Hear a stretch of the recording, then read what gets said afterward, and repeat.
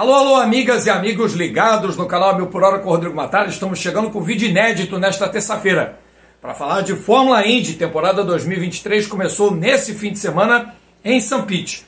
Mas antes de a gente entrar no assunto, eu tenho um recado para você.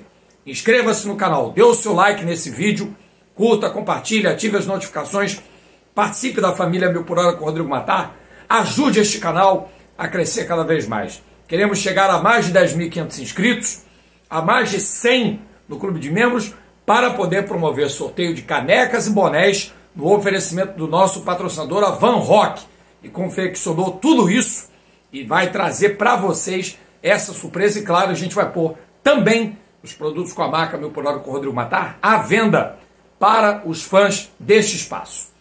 Muito bem, e começou o campeonato 2023 da Fórmula Indy nas ruas de St. Pete, na Flórida, no último domingo, e com vitória da Ganassi, né? Marcos Ericsson, o rei dos circuitos de rua, tem três vitórias de suas quatro a carreira da IndyCar conquistadas em circuitos urbanos. Ele ganhou em Detroit, ganhou em Nashville e ganha agora na abertura do campeonato. Zebra não é, porque o Marcos Ericsson já em 2022 fez um excelente campeonato, brigou pelo título até a última etapa e se não foi campeão, foi pelas circunstâncias do esporte e porque o Will Power realmente fez por merecer levar o título do último ano.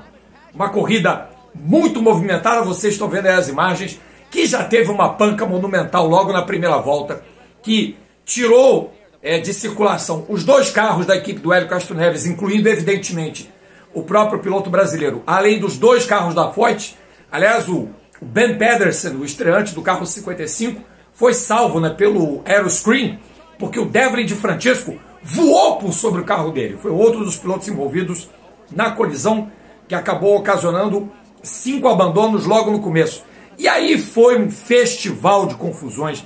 Teve toque, teve pancada no muro. O Conor dele foi arremessado contra o muro.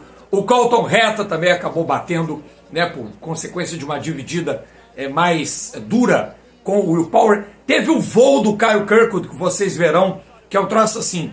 Às vezes eu fico pensando o que, que o Caio Kirkwood disputa na Fórmula 1. Se é corrida de carro ou se é, é para ver quem bate mais ou salto em distância.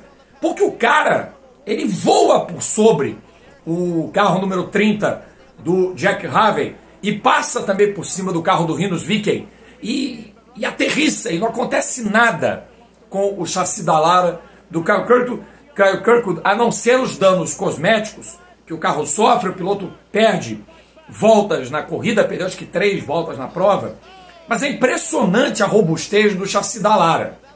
Esse é um ponto que precisa ser destacado na Fórmula Indy.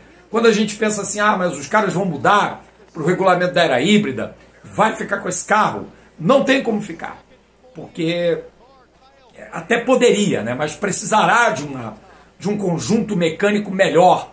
Mas a robustez do carro, que é derivado daquele modelo DR12, DW12, aliás, em homenagem ao Dan Weldon, e depois rebatizado o IR18 com a modificação estética, e agora com o Aeroscreen, ele é um carro mais pesado, né? inclusive estão tentando trazer uma leveza ao carro da Fórmula Indy em termos de peso, usando policarbonato no Aeroscreen, então a, a robustez desse conjunto ela é indiscutível. Já foi provada no acidente do Ericsson em Nashville 2021 e foi provada de novo no voo do Kyle Kirkwood. Aí depois, no final da prova, o Roman Grosjean, que tinha feito a pole position, era um dos destaques da prova, volta é, atrás do Scott McLaughlin, tinha feito um pit stop, e o Scott McLaughlin faz o undercut à frente do Roman Grosjean.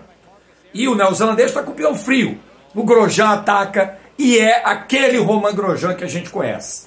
Não tem nem a medida com ele, e aí vai o carro da Andretti para o muro, vai o carro da Penske para o muro, o Pato Ward herda a primeira posição, acaba assumindo a liderança, fica na ponta até faltarem quatro voltas para o final, mas um engasopamento, um problema mecânico, um problema interno do motor Chevrolet, é, rouba do mexicano Patrício Ward a vitória. Ele ficou full pistola no pódio e não sem razão, porque, poxa, você perdeu uma vitória que era praticamente dele, né, tendo passado a condição de líder depois de toda a confusão do Grosjean e do Scott McLaughlin, perder a corrida como perdeu. E para o Marcos Ericsson, realmente para o Pato, foi frustrante porque eu tenho certeza que nenhum piloto quer perder e ele muito menos. Até porque o Pato tem batido na trave os dois últimos anos e na hora H a McLaren tem falhado. Aliás, a McLaren começa a sua campanha na Indy mais forte do que na Fórmula 1, né? porque faz o Pato segundo e o Alexander Rossi estreia com um bom quarto lugar. Aliás, uma distribuição de forças, né? porque a Ganassi colocou dois dos seus carros nas três primeiras posições e a McLaren termina com dois deles no top 5, sendo o Pato segundo e o quarto colocado acaba sendo o Alexander Rossi. A próxima prova do campeonato é no Texas, no dia 2 de abril, primeiro domingo do mês de abril, e aí voltará o Takuma Sato no carro 11, na vaga do Marcus Armstrong, que é o piloto que veio da Fórmula 2 e só vai correr nisto, e o Ed Carpenter estará inscrito no terceiro carro, assim o grid da prova do Texas terá 28 carros. Fatalmente será um dos maiores do ano, só perdendo as provas de oval, só perderão para a Indy 500, que terá, a gente espera, 33 carros. Olha, pessoal, sobre o final de semana, sobre outras coisas que porventura o pessoal andou sentindo falta, eu me reservo o direito de não falar, tá certo? Porque são coisas que ninguém pode resolver a não ser eu e os corresponsáveis pela transmissão. Então é algo de cunho profissional. Entendeu? Enquanto não se resolver, eu não vou tocar no assunto que muita gente ficou perguntando: ah, cadê o Rodrigo? Cadê o Rodrigo? Não vou falar, tá certo? Então, por favor, não venham com mais perguntas sobre essa situação.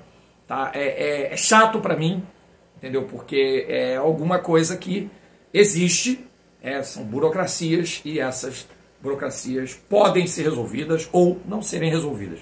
Isso também pode acontecer, faz parte da vida. Tá certo, gente? Mas não vou me furtar de falar do campeonato da Fórmula Indy, principalmente porque trata-se de um campeonato que nos últimos dois anos eu acabei acompanhando e a gente não vai abrir mão de seguir falando dele aqui no A Mil por Hora com o Rodrigo Matar, tá certo? Um abraço a todos, até a próxima. Se liguem que daqui a pouco tem vídeo sobre Fórmula 1 sobre a polêmica do GP de Singapura de 2008. E nessa quarta-feira tem Fred Sabino ao vivo com o meu convidado para a gente falar do GP do Bahrein de Fórmula 1, dessa pré-temporada, dessa abertura de campeonato que, olha, Red Bull começa dando uma surra do resto. Será que vai ser Fórmula Red Bull o campeonato de 2023? A ver. Até a próxima, gente.